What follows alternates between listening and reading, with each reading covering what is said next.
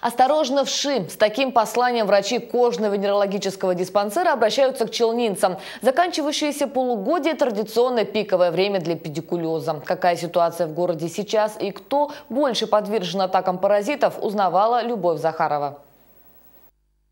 Мужчины, женщины и дети. Паразиты в виде вшей и гнит появляются независимо от половой принадлежности и возраста, однозначно заявляют врачи. Насекомые представляют собой крошечных животных серо-белого цвета длиной до 4 мм, которые селятся на волосах человека. Излюбленное место локации – височная и затылочная области головы.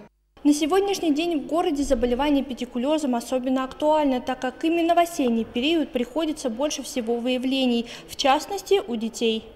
По словам врачей-дерматовенерологов, дети действительно находятся в группе риска. Причиной тому является их близкий контакт друг с другом и в том числе с переносчиками болезни. Передаваться вши могут через предметы обихода, шапки, расчески и даже подушки. При этом ошибочно считать, что заболевание – проблема лишь неблагополучных семей и асоциальных горожан. Вши не могут э, прыгать, не могут летать, они могут только ползать.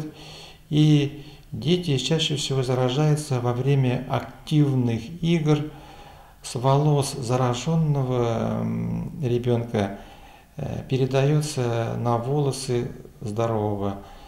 Также возможно заражение педикулезом летнее время во время купания в стоящих водоемах.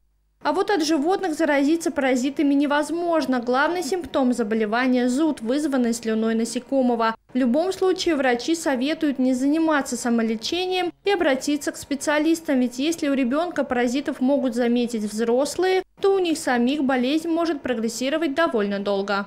Любовь Захарова, Ильнар Мустафин, Челны 24.